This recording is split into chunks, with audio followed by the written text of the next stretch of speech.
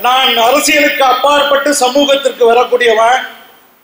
நான் வந்து இவருக்கு எத்தனை வருடமானாலும் சரி எத்தனை உயரத்துக்கு போனாலும் சரி செல்லத்துறை அண்ணனுடைய அன்பு தம்பிகளிலே ஒருவன். அவரால் வார்த்தெடுக்கப்பட்டவன். அவரால் வளர்த்தெடுக்கப்பட்டவன். அவரால் பார்த்து பார்த்து செதுக்கப்பட்ட சிற்பம் நான். அதனால தயவு செய்து நீங்கள் எல்லாரும் அது மாதிரி பரிணமிக்க வேண்டும் என்று கேட்டுக்கொண்டு விளையாட்டு ஆரம்பிப்போமா? ஒன்றும் சவுண்டு வரல அதனாலதான் போல ஆரம்பிக்கலாம்ல? நம்மளாம் நேரா உட்காந்துருக்கோமான்னு முதல்ல பாருங்க. வரிசையா உட்காந்துருக்கோமான்னு பாருங்க. சீரா உட்காந்துருக்கோமான்னு பாருங்க.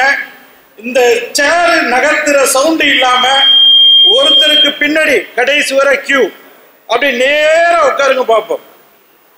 யாரு யாருக்கு வாத்தியார் வேலை பார்க்க வேணாம் யாரு யாருக்கு வாத்தியார் வேலை பார்க்க வேணாம் ஒருத்தருக்கு பின்னாடி ஒருத்தர் என்று கியூ கரெக்டா இருக்கான்னு பாருங்க. கியூ கரையே கரெக்டா இருக்கான்னு பாருங்க. அதே மாதிரி இந்த லைன் நேரா இருக்கான்னு பாருங்க. குறுக்கு லைன் நேராகவும் குறுக்காகவும் நேர்த்தியாக அமர்ந்திருக்கிறோமா? அப்படின்னு பாருங்க. நான் உங்களுக்கு இப்ப பாருங்க நிறைய பேர் இன்னும் லைனுக்கு வரல. லைனுக்கு வரலன்னா நான் பேச போறது இல்லை நான் விட்டுருவேன். காய்ச்சல்களை பற்றி கவலை இல்லை. முன்னாடி வரலாம். முன்னுக்கு வர்றதுக்கு நமக்கு விருப்பமே இருக்கிறது இல்லை. இதெல்லாம் அதுதான் எடுத்து சொல்லுது. நீங்கள் கலைந்து கிடக்கக்கூடிய காட்சியை பார்க்கிற பொழுது இந்த சமூகம் தலைமையற்று கலைந்து கிடக்கிறது. நீங்கள் ஒழுங்காக அமராத காட்சியை பார்க்கிற பொழுது இந்த சமூகம் ஒழுங்காமல் உழைத்துக் கொண்டிருக்கிறது. ஒழுங்கில்லாமல் உழைத்துக் கொண்டிருக்கிறது. ஆகையினால் தயவு செய்து இன்னும் பாருங்க இந்த இந்த லைன் நேரம் இல்லை. இடையில பாம்பு வயிறு பெருத்தது மாதிரி எல்லாம் வளைஞ்சிருக்கு நெளிஞ்சிருக்கு. நேராக வாங்க. அப்படியே எண்ணிடலாம். இங்க இருந்து எண்ணம்னா அங்கே போயிடும் பாருங்க இன்னும் லைன இன்னும் சரியா? இன்னும் சரியா? அதே மாதிரி இந்த கூட்டம் நடக்கையில எனக்கு தெரிஞ்சு நான் தமிழ்நாடு முழுவதும் ஏன் இந்தியா முழுவதும் சுத்துறேன்? தேவேந்திர குல வேளாளர்களுடைய அடிப்படை பண்புகளில் ஒண்ணு என்னன்னா கூட்டத்துல தலைவர் பேசிக்கிட்டு இருப்பாரு. கூட்டத்துக்குள்ள இங்கே ஒரு கூட்டம் நடந்துகிட்டு இருக்கும். ஒரு கூட்டம் நடந்தால் பரவாயில்ல பல கூட்டம் நடந்துகிட்டு இருக்கும். இதை விட பெருமை என்னன்னா எந்திரிச்சு எந்திரிச்சு போயிட்டு வந்துட்டு இருப்பார். இன்னொருத்தர் பேசிக்கிட்டே வருவார் பேசிக்கிட்டே போவார். இதெல்லாம் நாங்கள் அரசியலில் நம்ம பின்னடைஞ்சதுக்கு அடிப்படையான காரணங்கள். நம்முடைய சகோதரர் பேச்சு முத்து உதயகுமார் அவர்களிடம் அப்படிதானே சார்? ஆமாம் அவங்கள்ட்ட தான் பேசிக்கிட்டு இருந்தேன். இந்த சமூகம் எந்த நிலையிலே பின்தங்கி இருக்கிறது என்று சொன்னால் இந்த நிலையிலே தான் பின்தங்கி இருக்கிறது. இதுதான் அடிப்படையான காரணம். நீங்க அரசியல் என்பது சூரிய ஒளி மாதிரி. நம்ம கல்வியில இலக்கியத்துல பண்பாட்டுல அல்லது பொருளாதாரத்துல இதெல்லாம் முன்னுக்கு வர்றது தீக்குச்சி மாதிரி அல்லது டியூப்லைட் மாதிரி அல்லது மெர்குரி பல்பு மாதிரி. ஆனால் சூரியனுக்கு முன்பாக இந்த லைட்லாம் எடுபடுமா? எடுபடாது. அரசியல் ரீதியாக அதிகாரம் பெறுகிற பொழுது இதுக்கெல்லாம் அவசியமே இல்லாம போயிடும் ஆனா இருட்டில் இருக்கையில இதெல்லாம் அவசியம் தேவை. இப்ப நம்ம இருட்டுக்குள்ள இருந்துகிட்டு நினைக்கிறேன். அதனாலதான் இன்னும் ஒழுங்குபடுத்தப்படாத சமூகமாக இருக்கிறது. தலைநகர்ல ஒரு கூட்டம் நடக்கிறது என்று சொன்னால் இந்த கூட்டத்தினுடைய செய்தி கன்னியாகுமரியில் இருக்கிற கடைக்கோடி தேவேந்திரன் வரை சென்று சேர வேண்டும். இங்கே ஒவ்வொருத்தரும் ஒரு கிராமத்துடைய பிரதிநிதியாக நான் பார்க்கிறேன் குறைஞ்சபட்சம். அப்ப இங்கே இருநூறு பேர் இருக்கிறோம் என்றால் இன்றைக்கு எடுக்கிற முடிவு இருநூறு கிராமங்களுக்கு உடனே போகிறது என்று அர்த்தம். அப்படிதான் நான் பார்க்கிறேன். இந்த மண்டபத்தில் இருக்கிற ஒவ்வொரு செங்கலும் தமிழ்நாடு தேவேந்திர குல வேளாளர்களுடைய ஒவ்வொரு வியர்வை துளியாக நான் பார்க்கிறேன். ஒவ்வொரு இரத்த துளியாக நான் பார்க்கிறேன். கொடியங்குளம் நடக்கும் பொழுதெல்லாம் இங்கே கூடுவதற்கு இடமில்லை. உட்காருவதற்கு இடமில்ல. நம்ம பசியாறுவதற்கு இடமில்ல. தாக தீர்ப்பதற்கு இடமில்ல. இன்னைக்கு அப்படி இல்லை. நான்கு வழிச்சாலையில இது மாதிரி அமைப்போட அமையப்பட்ட திருமண மண்டபம் எந்த சமூகத்துக்குமே கிடையாது.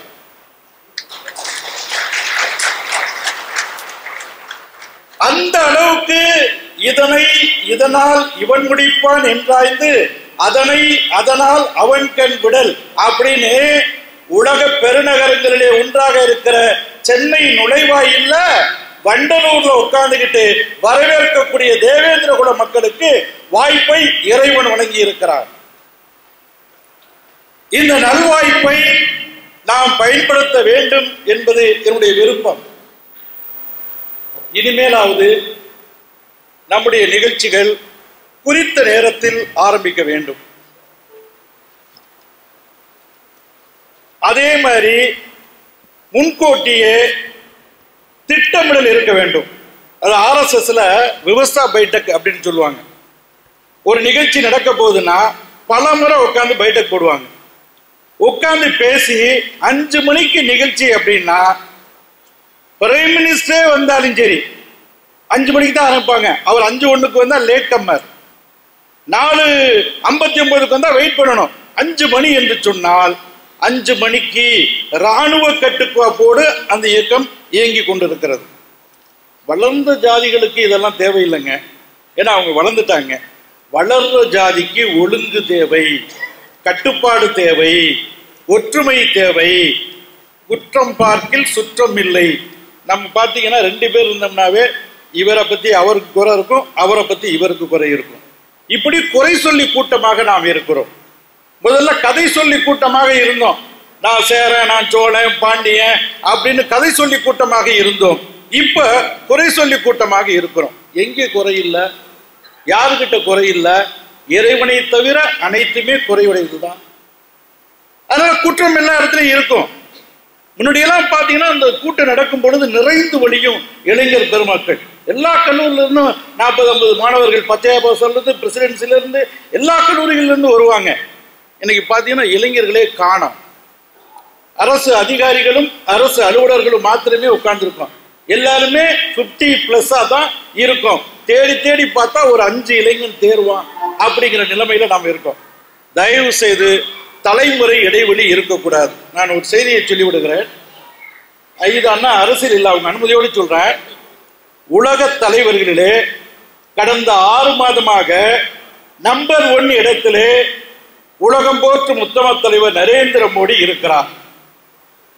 அவருடைய ரேட்டிங் என்ன அப்படின்னா இப்ப எண்பத்தி ஏழுல வந்து நிற்கிறார் ஒரு மாசத்துக்கு முன்பு வரை அறுபத்தி ஏழிலே இருந்த சாரி ஐம்பத்தி ஏழிலே இருந்த நரேந்திர மோடி அவர்கள் அதுவும் ஐம்பத்தி ஏழு ரேட்டிங்ல ஃபர்ஸ்ட்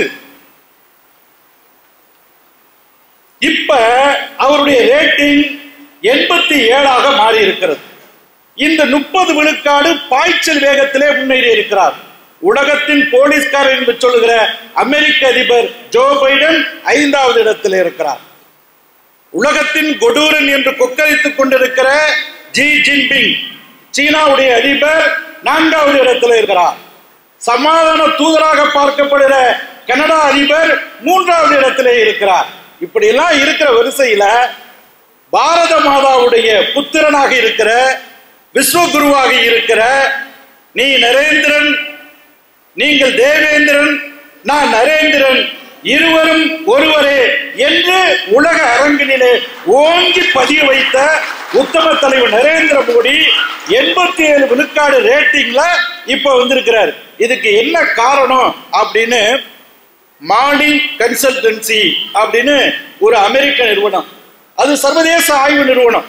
எந்தெந்த தலைவர்கள் ரேட்டிங்ல என்ன மாதிரி மக்களுடைய பாப்புலாரிட்டியை பெற்றிருக்காங்கன்னு டெய்லி அனலைஸ் பண்ணக்கூடிய அது ஒரு இன்டர்நேஷனல் ஸ்டடி ரிசர்ச் யூனிட் அந்த யூனிட்ல சொல்றாங்க நரேந்திர மோடி ஐம்பத்தி ஏழுல இருந்து எண்பத்தி ஏழு விழுக்காடுக்கு எப்படி உயர்ந்தார் அப்படிங்கிற கேள்விக்கு அவங்க கண்டுபிடித்த பதில் நரேந்திர மோடி அவரிடம் இருக்கக்கூடிய கம்யூனிகேஷன் ஸ்கில் தகவல் தொடர்பு திறமை.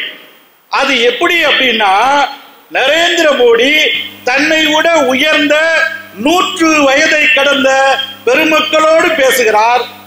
தன்னுடைய வயதை ஒத்த எழுபது பிளஸ்களோடும் பேசுகிறார்.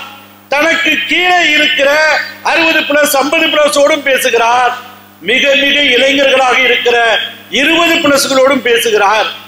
இப்போதைக்கு அஞ்சு வயசுக்கு மேல இருக்கக்கூடிய சிறுவர்களோடும் பேசுகிறார்.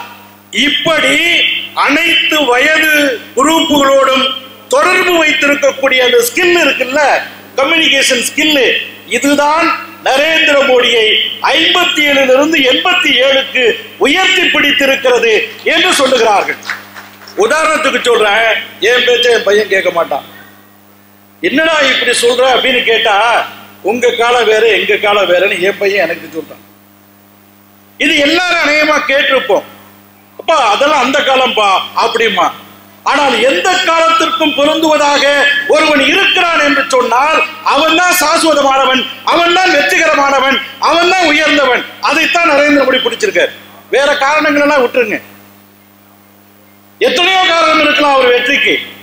ஆனால் எல்லோரோடும் பழகக்கூடிய எல்லோரோடும் புரிந்து கொள்ளக்கூடிய எல்லோரும் அணுகக்கூடிய காட்சிக்கு எளியவனாக கடுஞ்சொல் அற்றவனாக மீக்கூறு மன்னன் நிலமாக இருக்கக்கூடிய மாமன்னனாக இருக்கிறான்.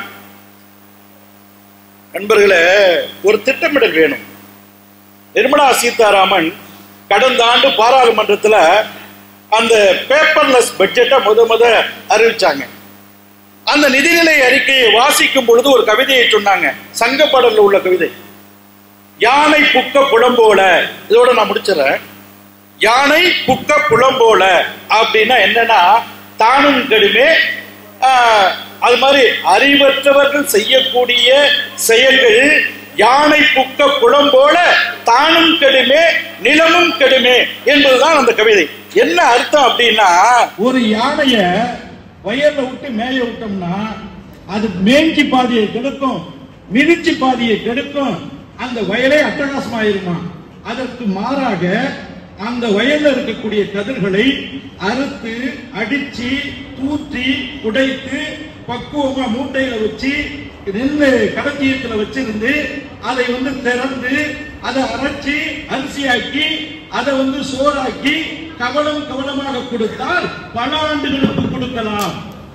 ஆனால் மாறாக யானையை போய் திறந்து விட்டியனா அது என்ன ஆகும்னா யானையும் கெ- நிலமும் கெடும் நெல்லும் கெடும் யானையும் கெடும். இது மாதிரி திட்டமிடல் வேண்டும்.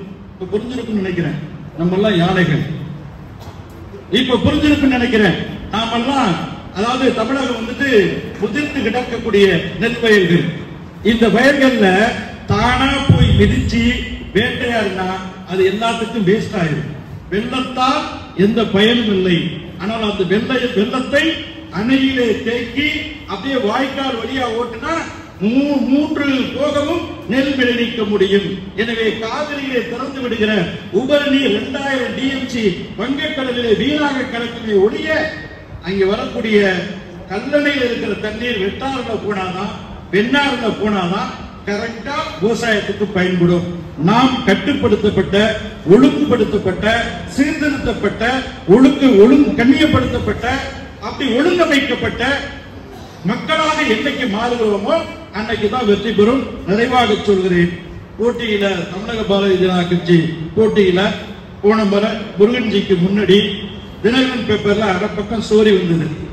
அதுல யாரு வர போறா மாநில தலைவரான்னு தமிழிசை பதிலா பிறகு முருகனா நயினாரா புரட்சி விலாசனா என்று போட்டி இருக்கிறது.